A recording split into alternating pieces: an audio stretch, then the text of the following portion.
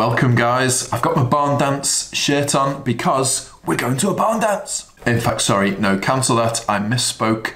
I've got my barn dance shirt on because we're going to do the nine ultimate circle time math games in existence. Also, there's a little bonus. At the very end, the very last game has got a real ghost in it as well. Seriously spooky, guys. It's seriously scary, so stick around for that. This is Early Impact.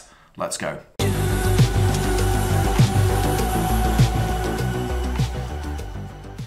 Basically been a teacher of children between the ages of about three to five for absolutely donkey's years, basically. But I think all these games are great for children between the ages of about three to seven. And these are my ultimate games. I've picked them out of at least probably 100 maths games. These are the pick of the crop. Game number one of the Circle Time Math or Maths games. This is called Snowball, and this is an absolute beast of a game. What you need for this are some small squares of paper, just any kind of random A4 paper. You need at least one piece of paper per child that you've got. And what you do, you write some numbers on the paper. You want pairs of numbers. So for example, I've got two 11s here. Here are two sevens. They're all a bit wrinkly and crinkled because you're about to crinkle them up. What you also need is one odd one out. So for example, here I have a zero and there's only one of them. Get the kids to stand up, and what you do, you go and give them each one of these numbers, just randomly give them a number. Then the really exciting bit, they get to roll them into a snowball. They crinkle them up, and this is the real life snowball. And what they do, they're going to throw the balls into the middle of the, the circle. So you'll have a heap of snowballs. Then the next part of the game is everyone is going to pick up someone else's snowball. You're not allowed to pick your own snowball up. If adults did the game, they probably wouldn't even know which snowball was theirs, but kids are quite territorial. They're, they're kind of a bit like you. That's mine, stay away. We don't get involved in that. You got to pick up someone else's snowball, and then you open it up. For example, I've got 11. Now the name of the game is you need to go and find your matching partner. You go around, someone else is going to have an 11, for example. I'm going to go and stand next to that person who partnered up and it's all good. One lucky person is going to be the champion. That person is going to have no partner. So for example, the zero, they're the winner. If you have an even number of children, you'll have two champions. So you need two pieces of paper that don't have a partner, basically. Then you have two champions. But that is basically the name of the game. Very simple, loads of skills involved. It's great for standing someone next to someone that's not necessarily your best friend. Also, it's just great for number recognition. You can do things like shapes as well. You could have different shapes on the piece of paper. This could be a triangle, for example. You can try and find your mate who's got a triangle, or it could be a square. You could also do things like addition. It could be two, add two on this one, and someone else got number four, and you try and team up. So you can make it much trickier as well. Great for cooperation, great for lots and lots of math skills.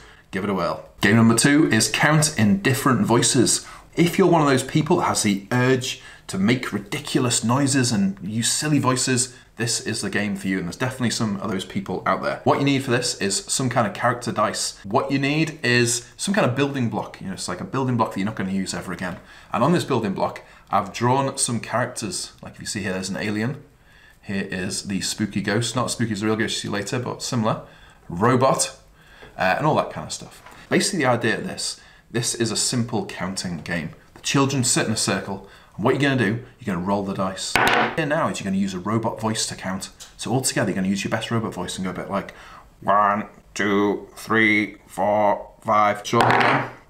We'll do the ghost. It's good preparation for later on. Best spooky ghost voice, and you're like one, two, three, four. This is great for reluctant children. They're not very interested in counting in a normal voice, but it's just a way of getting them inspired. If you're liking these games so far, guys, then please just dink that like button for me if you wouldn't mind. Just a little, tiny little bing, little dink of your finger on the like, that would be a beautiful thing. It will help the video spread like absolute wildfire, which is fantastic, and these games will be spreading to a wider audience. So a little, just a little dink, thank you so very much. Two dice are required for the next game. This is the action dice game. What you need for this is some kind of simple numeral dice. It's just a building block with some numbers on, very, very simple. And also an actions dice. What you need for this are things like some drawn actions, like this one is supposed to be hopping. So, the name of the game here, you get two dice, roll them both at the same time.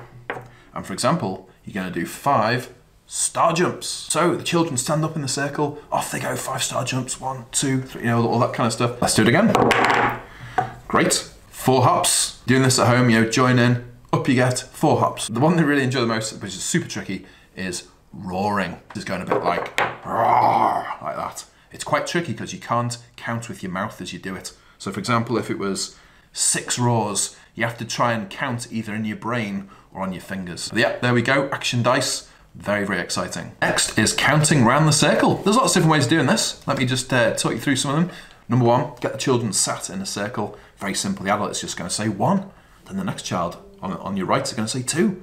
Next child says three, four, and you just pass it around the circle like magic. You can also do the version where you split up the circle. You put some kind of line down the middle. And this is more like a tennis match. And so on this side, they're going to say one. On this side, they're going to say two, three, four, five, six. And you're just going to keep going like that, bouncing backwards and forwards like a tennis match and learning how to count. Both these games later on are great for counting in different ways. For example, you could count in tens. First person says 10, next person says 20, 30, and you count around like that. You can do different times tables. You could count in sevens. You could count in you know, nines. You could go backwards. You could start at 100 and count backwards in tens, all that kind of stuff. So it doesn't have to just be counting in ones. There's lots of ways of making it trickier, but the simple structure of the game remains the same. Now it's time for the bit of the video where I stick a pin in the map. I've got a big map of the world and anyone that comments and puts where they're from on one of these videos, I will stick a pin in our map to show what part of the world you are from. So today we've got Joe in Alaska. Thanks a lot for commenting, Joe. I'm going to stick your pin in the virtual map, but next week the real map will have arrived and that'll be stuck on the wall and it'll be a very exciting time. Number five, this game is called Number Pass. This sounds very simple, the concept, but it's probably my ultimate favorite number recognition game to try. What you do, sit in, sit in a circle and have a pile of numbers, something like this. And what you do, quite simply, you pass the numbers around and the kids are going to say what number it is. Like, the person is going to say 16 Pass next person. 16, 16, 14, 14, you know, whatever numbers you're working on, 5, all that kind of stuff. Pass it around. There are two beautiful things involved in this game. Number one is if the children are good at recognizing numbers anyway, this is good practice because they get loads and loads of goes of practicing saying the numbers and it's great just for practicing. But number two is if the children don't know, some of them might not know all the numbers are, you can kind of listen to the person next to you and try and, you know, if they're saying five, it probably is a five so you say five as well. So it's good for even the ones that can't quite do it, but they can kind of learn off others. There's a bit of both of those balanced together, which is all good. Game number six is the number circle. The idea of this, the children stand up in a circle, go and give them all one number. What they do, they're gonna put the number on the floor next to them. And so what you have is like a circle of numbers on the floor. Then put some kind of music on, some kind of pumping tune. And what the children are gonna do, when the tune is on, they're gonna move around the circle. So they're going to walk around the circle of numbers. When the music stops, you freeze. You freeze next to your number. And what you do, you're going to say it in different ways. One way of saying it is in your fast voice. They really found this very entertaining. So, for example, if it's number five, in your fast voice, you say a bit like five, five, five, five, five, five, five, five, five, five, five, like that. Then you put the number down, music starts, off you go again. You can also use different types of voices. You can use your slow voice, six. You can use a high voice, or a low voice. You can use things like, you know, a ghost voice or a tiger. If it was a tiger, it'd be a bit like, six. This is a great game for teaching letters and words as well, but great for, you know, early mathematics. Give it a whirl. Game seven is Count with a Puppet. To help me with this, I've got Mike the monkey. You'd never actually believe where I found Mike originally. Uh, he was in a skip, uh, and I saved him. I basically saved his life and brought him, brought him home. He's going to help us do this game. You might have noticed that some children are more interested in what puppets say than humans. They're much more excited when some kind of puppet comes out. And if that sounds like like you and some of the kids you're trying to teach, then this is a good game for you. A good fun way that the kids really love is when the puppet goes wrong. This is kind of like a counting listening game.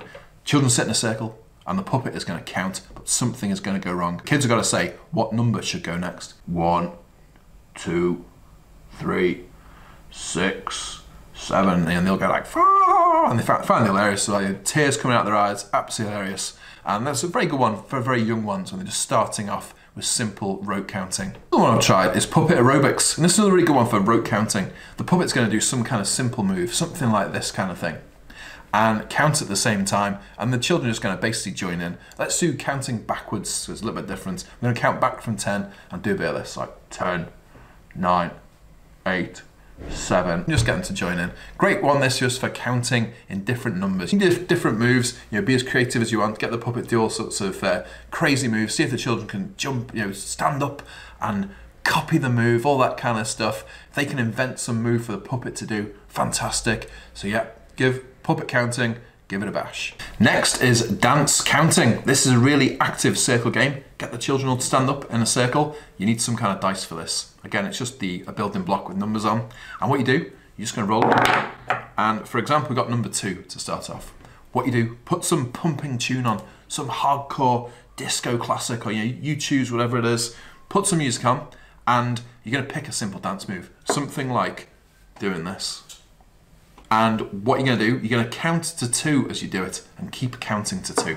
Let me show you. One, two, one, two, one, two, one, two. A bit like that. Mix up the moves, do lots of you know all this kind of stuff, or you know be be as creative as you want. The kids can come up with their own dance moves.